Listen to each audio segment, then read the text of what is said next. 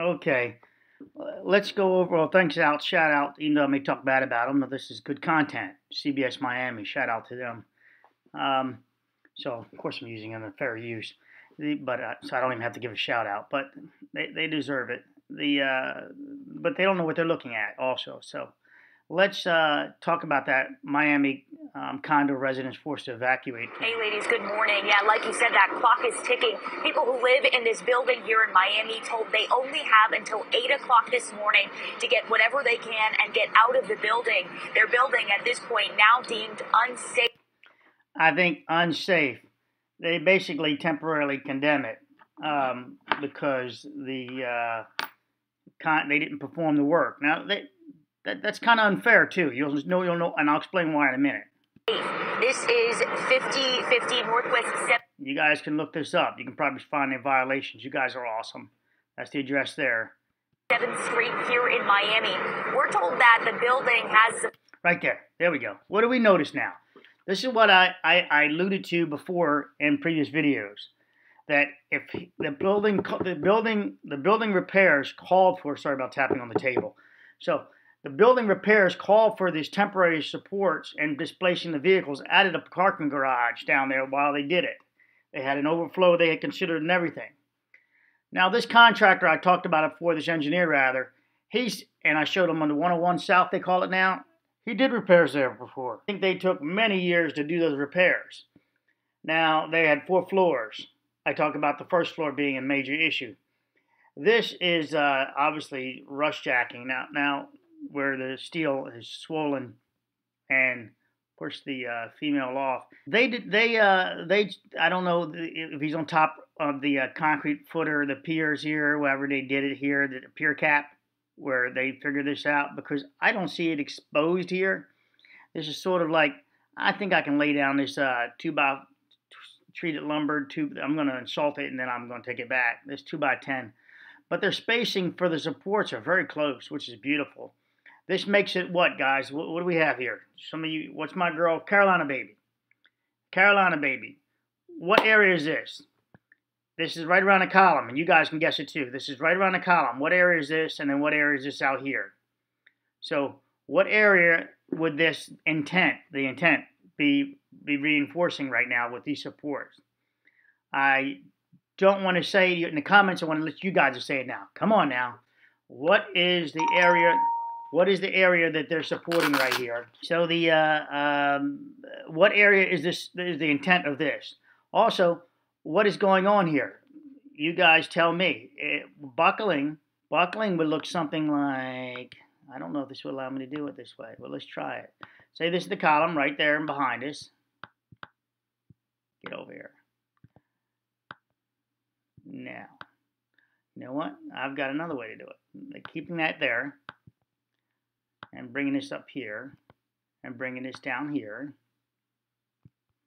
sliding this dot down to here because we're going to put it right, right about that steel level and we'll grab another one right structural issues structural is yeah so then we'll grab another one and now they from what I understand they had uh uh, their timeline. that They didn't finish their timeline. Now, why do I think it's unfair?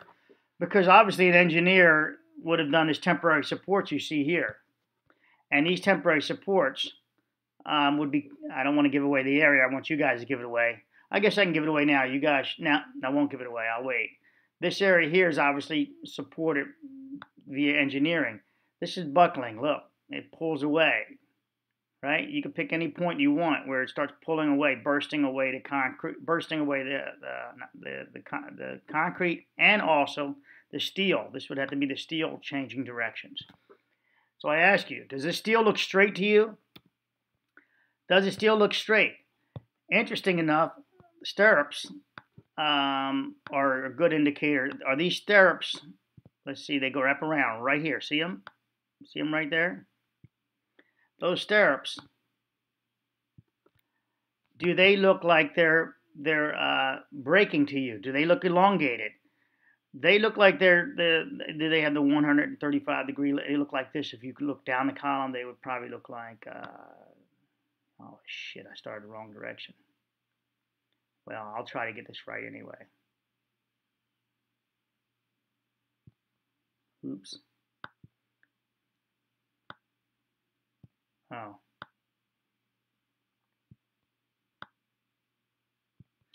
It would look something like something like that. And so you would you'd be able to see if they're if they're elongated. You'd be able to tap a hammer on them to see if they're feeling tension on them to see if this is trying to buckle outwards. Or you know, is it two things going on here? Do we have, um, of course, we have this this, this serious uh, steel, um, the marriage being broken up by the husband and wife together there. Uh, we have no settlement issues here. It appears this is right on plane. This does look like this is not a repair, though. There's no clean cuts here. There's no probing. But we do have a transfer of the loads into these columns, possibly. To figure that out, wrap them again. Tap them with a hammer. Oh, I'm sorry. Let's use what the guy used, the golf club. Really, it, it doesn't matter. It does work.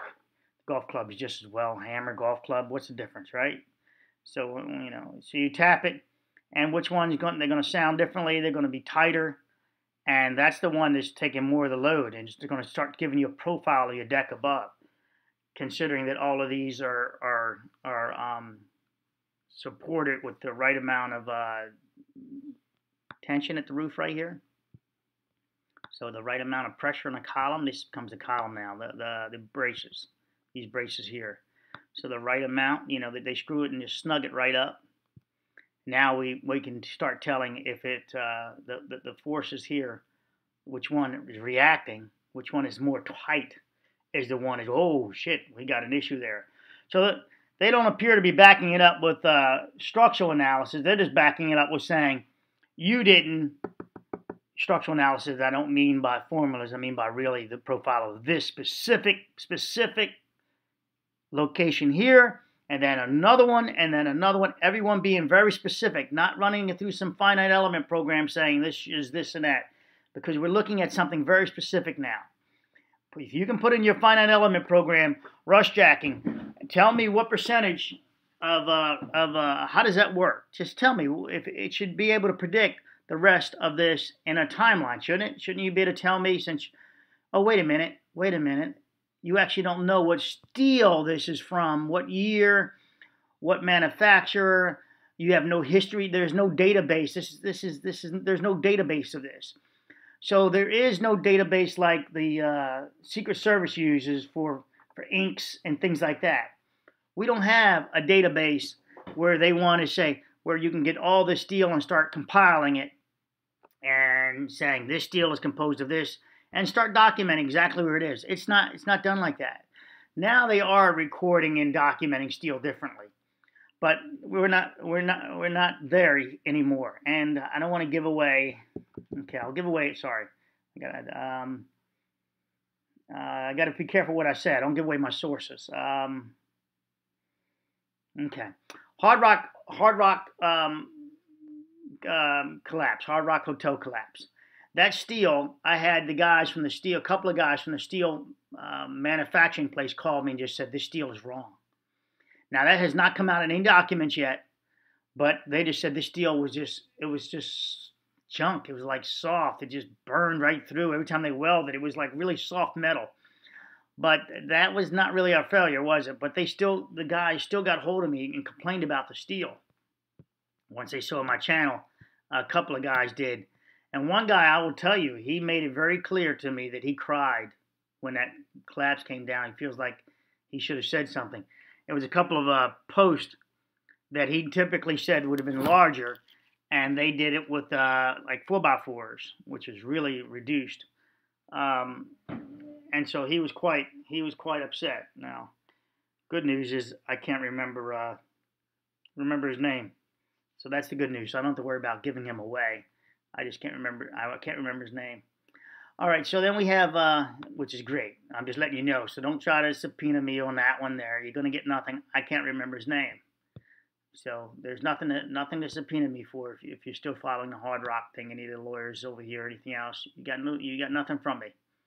I don't remember his name. I remember the rough content of the phone call. And oh, I'm sorry, I will give away that. Just find out the steel manufacturer. Go there and find their records uh, get their samples of steel. They they had some if you could still get them. They had you know obviously they had some at the yard still. They were still they were still producing uh, samples of steel. They still had samples of steel there at the time. Uh, okay, so just timeline it. Go back. Back to this. So the stirrups are uh, are you would tell if they're if they're experiencing a buckling moment. If they're pushing outwards, this would be a tight. This would be very tight. Right now, the concrete's encapsulating it, locking the steel in place up here. So most mostly up, up top here. Well, well, that was screwed up. And and like a 45 in that way and a 45 in this way, meeting a 90. That's just the way forces love 45s. They just love 45s. You can find them almost everywhere. So this jacking this off, it took the why did it not jack it off in the mid going through the center of the column? Well, the the, the cover is only two inches. So as it expands, it's easy to jack off two inches of this uh, concrete than it is to uh, try to break internally, which also would meet the steel it would have to push against on the other side, the opposite opposing steel. The opposing steel. So now this is a very small column, but we don't know the spacing and what the loading of the loading of it is. But that steel, it looks massive. I mean, I don't know what size steel that is, but that looks massive. They look like columns themselves. Look, they look like columns. I mean, they swelled up just a little bit. Pull, knock that off. And it doesn't take much to knock it off. If you guys look at rust jacking, you can still see the profile of the ribs and all that. It does not take much because concrete sucks. Sucks. Uh, all right, so concrete would be in tension at that point, internally pushing outwards by the steel swelling. Internally pushing outwards. And it only takes about, let's say this is 4,000 psi. It only takes about 10% of psi uh, for it to uh, fail in tension. Well, that would be internal tension trying to fracture it away. But it also has a void now. The void is created by the steel. So it would look like, let's grab a round one, and let's, well, that's not quite round. Let's go with that as round. So let's look at the top view. Wait a minute. I'm trying to grab it. This is the top view. Now let's put the concrete around it a bit. So let's do this one. I don't know if it's going to let me cover it. Yeah, I might have to do this one. And then move this one on top of that one. Well, that didn't work. Excuse me for coughing on you. There we go. Let's just use this one piece of steel here. Um, I guess we can use two. Oh, somebody taught me how to copy them. Oh, you guys are awesome. Some of you didn't know your stuff. I do follow some of your tips on the keyboard stuff, as you can see. Let's put this in here. Let's just give it four pieces. That's what it looks like from the top view down. We can chop this off and look down it from standing our heads over top of it. That's what the, let's call it these four pieces. And that stirrup thing would be wrapped around here. Um, so stirrupy, stirrupy. Let's see if I can do stirrupy. Gotta try to scale this a bit.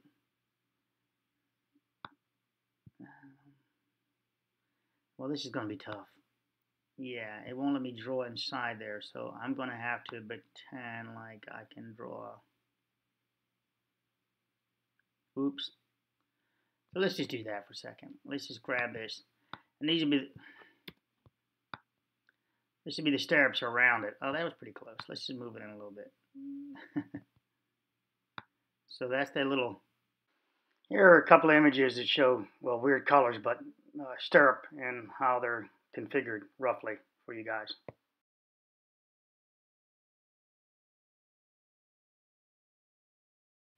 Stirrupy things right here. So now as that tries to push apart, it can't. This this this keeps it in. Those they they they in tension. So if it tries to buckle and put and swell out, as we were talking about here, if it tries to swell out, you know, if it tries to swell outwards, it's confined by these stirrups right here, right? So it's confined by these guys if they try to swell out. But look here, look, look, let's let's let's keep it. Let me do the stirrup here. Let's do 40. This one. I know it's bigger. But there we have. So we have this part of concrete missing here. And if we do if we do them intersecting like this, you start seeing what's really going on here. You start seeing that, oh, wait a minute, this isn't as bad as it may look. Okay, I got to push this one, pull this one down. So now you, you can see now when it's a little bit of swelling, so I'm going to swell this up just a little bit, watch. Whoop. When it swells, let's put it, let's do this. Let's push this out. Let me grab the other one. Hmm. Let's make that one smaller. And let's do the profile like that. I'm out to the edge there, and let's move this here. And you see it's confined in the stirrup here. So there's going to be some, so this is swelling. Even the stirrup swells a little bit. It swells less than this is what I find is the stirrups are usually profile pretty good. The, the remaining is, looks pretty good. The This is the part that swells even more. But now watch when I, if this is concrete all, this is concrete all around the steel, right? I mean around the steel here. See it? Concrete. Now it's going to swell just a little bit. Just a little bit. Just a little bit. See it? I'm just cycling for you. It doesn't cycle. I'm just I'm just showing you. Well, if it vibrates, it cycles. But the uh, the I, I don't I don't have a force for that. So then um, it just a little bit, and it only needs a little bit of pressure. And where's this concrete? how can this con this concrete, let's just call this concrete here, it's internal, right? It's it's trapped. It's it's it's every it's trapped in itself. It's locked in. It's concrete. It's, as I say, it's very brittle. But it can take about 400. So that's 4,000 psi. So it would take about 400 only psi to to make it to make it want to uh, fracture in tension. The tension comes from the steel swelling. And it's outwards like that. So I'm to put that inside, right? Inside there, inside here. Let's remove this one. Let's do a little circle. Good. Let's put that there. And it's everywhere though. It's it's it's all the way around. It's a 360, right? Rust. It's however the rust develops. The rusted, the most rusted side would probably be or wherever the rust rusted side is. The backside sometimes cannot be cannot be as much rust. But that swelling inside here creates an, a only needs 400 psi, just a little bit, and that pushes against the concrete. The concrete fractures, burst, if you will. So you're not look you're looking at the, the male here, as I say, male and female. You're looking at the male swelling up and causing all this tension inside that inside the the uh, the, the female the the concrete, and she just she just she just caves. She just temp, she only needs ten percent of loving, and she just burst apart. She's just done. Right, she calls it a day. She go gets a cigarette somewhere. So the, the, this this woman over this part of the woman, she went and got a cigarette. As the one lady said, I need a cigarette now. And I did one of my videos. I said, okay, so I'll, I'll make sure to get you a cigarette in the next next uh, content. So it swells 10%, and she go gets she she go she go it swells 10%, and she go gets a cigarette. So uh, out the cigarette, never come never to come back. It's like that was too much loving. That was too much. She never comes back. Need a new man at that point. Uh, no, she needs a patch job. to uh, patch jobs don't work. The patch job just don't work. You guys know it in relationships. Patch jobs don't work. You got to be able to accept it. This is accept that this this is the constant maintenance. This is not just a patch job. This is a forever maintenance. This is not, oh, we got it now. We use we use rapid set product that really won't eat at it as much. We've got it. This is done. This is a one and done now. There'll never be a one and done because all elements want to go back to their original state. Steel is multiple elements. It is not stable. Oh, how do we know that? Well, you just put it in concrete and you see how stable it is. You lay steel out by itself and you see how stable it is. Um, you need it needs protection. Now there is a form. There's many ways to get there, but it's too expensive. So consequently, this is going to keep happening, not now, but forever. But forever, and it's a terrible marriage. It always needs therapy. All right, so I just wanted to help you explain what you're looking at here. Why the why the section's off? Because that little bit of swelling those swelled up and they're rusting equally. That's very telling because it, it popped it all the way off. And now in the middle, so what does show you about the middle? What does show you about, you see it here, the piece here. See the middle? It shows you that this is this this section here, right here, you still see the paint on it, is more strong and stable that it was able to take the pressure that hasn't been created yet to pop it off. Down here it was created. It swelled and this reduced in size. So from here, oh, I'm never going to get this right. No, it wasn't. Okay, we'll go with this one. So it reduced in size. The opening reduced in size. So this opening, as the concrete, as the steel swelled on both sides, reduced this size in here, created the pressure between here, right in here in real life, and it dropped off the concrete there. So initial step, as you do forensic, real forensics, you can see that, okay, so first to go on down here is the outer corner. Second to go is the middle. All right, we got rusting from the bottom up. Do we possibly have contact with with water on our steel that's rusting from the bottom up. Let's go ahead and expose it. Let's look at, well, looky here. That's pretty damn wet there, isn't it?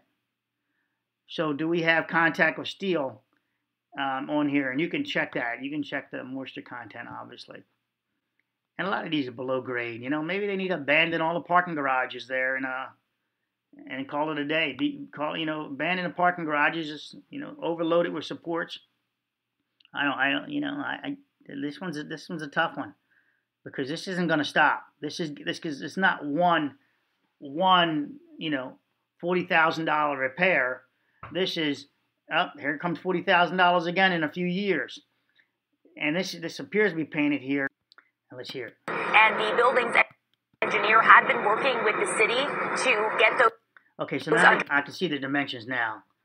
It looks like a third piece of steel in there.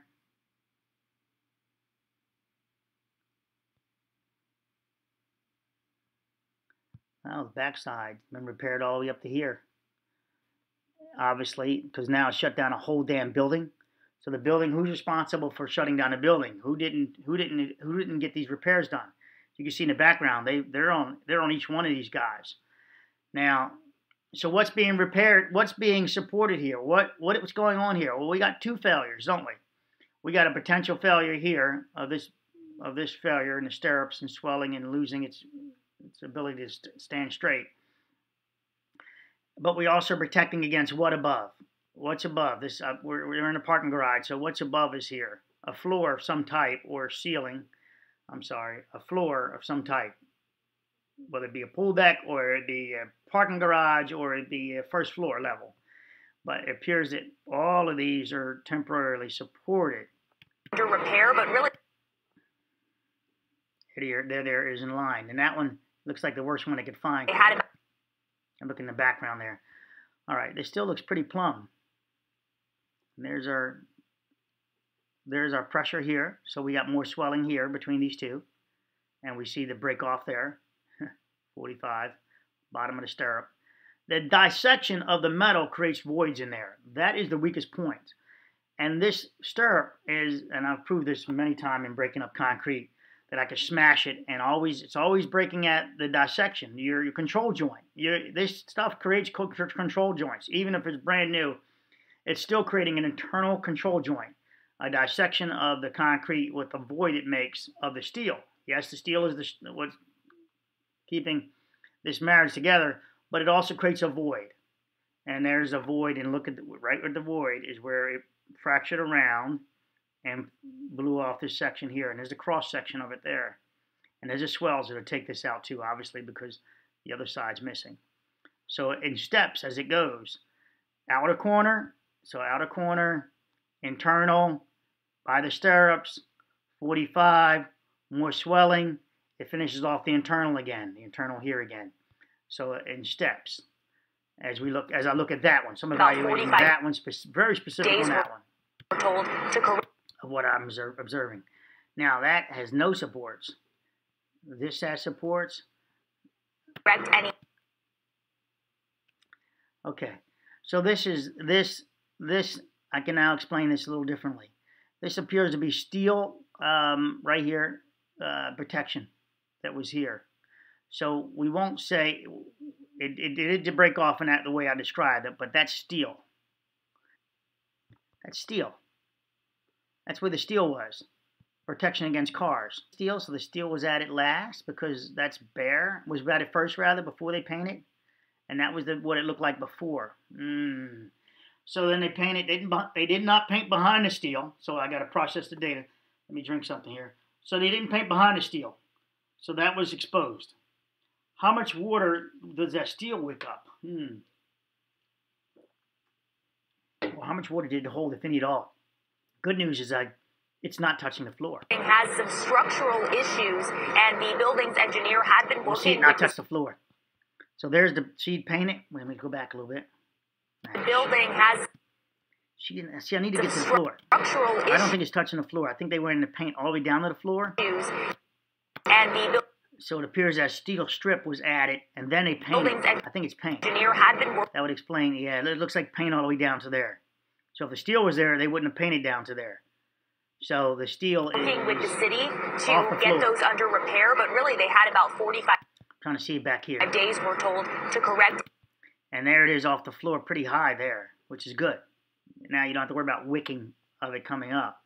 But now we know the steel was at it, and then it was painted this this uh, beautiful pink or whatever. issues. The engineer and the building staff here All right, there it is. There's some more steel there. Appears it represents a steel, and that has no supports in it. So they've got a. They definitely found. Oh no, they opened it up over here. Look, look. They did open it up. This one they didn't open up. This one's opened up. But am I looking at fractures on the ground?